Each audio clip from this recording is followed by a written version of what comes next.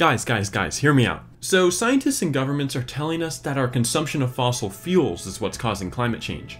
But what these fools forgot about is that volcanoes pump out more CO2 into the atmosphere than like all of humanity put together. So maybe we should focus less on these solar subsidies and more on a giant cork for Krakatoa, put an end to this once and for all. Except this might not be the full story. Welcome to the first episode of Climate Myths Debunked. So first of all, yes, this is a very real argument that I have seen parroted all across the internet. The claim is that the increase we see in atmospheric CO2 is not coming from humanity burning trillions of tons of fossil fuels, but is actually because of big volcano eruptions. And the main guy who's been saying this is Ian Plimer, a former professor of mining geology, director for multiple mining companies, and a member of the climate change denialist group, the Global Warming Policy Foundation. In his 2009 book, Heaven and Earth, he claims that over the past 250 years, humans have added just one part of CO2 in 10,000 to the atmosphere. One volcanic cough can do this in a day. And this is where the rumor was born from. So let's take a look at this quote and figure out why it's so misleading. The first part states that over the past 250 years, which is basically all of the Industrial Revolution, humans have added just one part of CO2 in 10,000 to the atmosphere. If we look at the internationally recognized upward trend in atmospheric CO2, we will see it has risen from around 280 ppm in 1750 to around 422 ppm in 2024.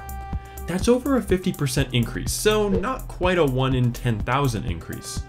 What Plimer is of course referring to is that carbon dioxide is such a trace gas in the atmosphere that if you include all the nitrogen and oxygen in our air, which makes up about 99% of it, then we've only added one part of CO2 in 10,000 parts of total air.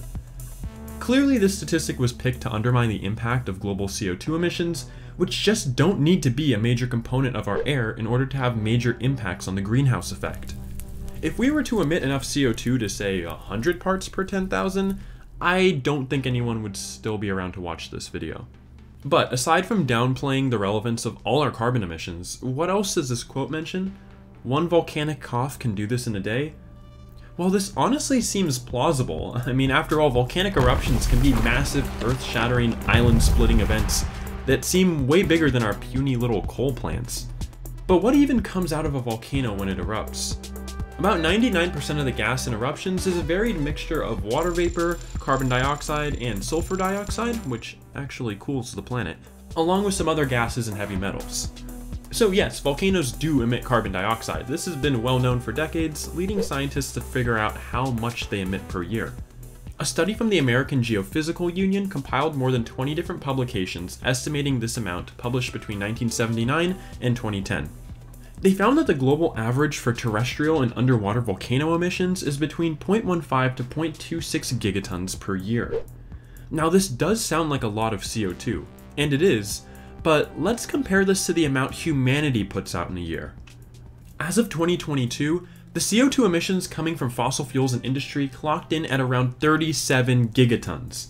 This means that volcanic emissions are only around 0.4 to 0.7% of the size of anthropogenic emissions. So unless every volcano starts chain smoking cigarettes and coughing up a storm, I think it's safe to say it's not volcanoes.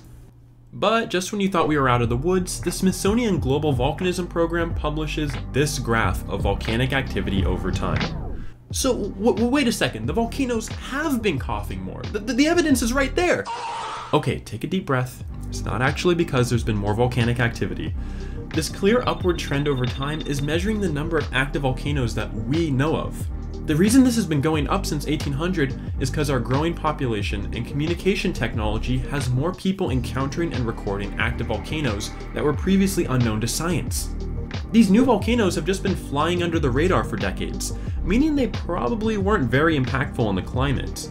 Also, some pretty damning evidence can be seen when we look at giant eruptions with actual impacts that we couldn't miss. These larger eruptions, spewing at least 100 million cubic meters of stuff, have not gone up or down over the last 200 years, while CO2 clearly has. I think that's more than enough evidence to officially put an end to the rumor that volcanoes are causing climate change. Myth debunked. Thanks for sticking around to the end.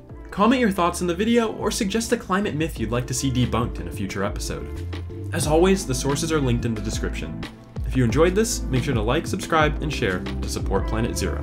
I'll see you next time.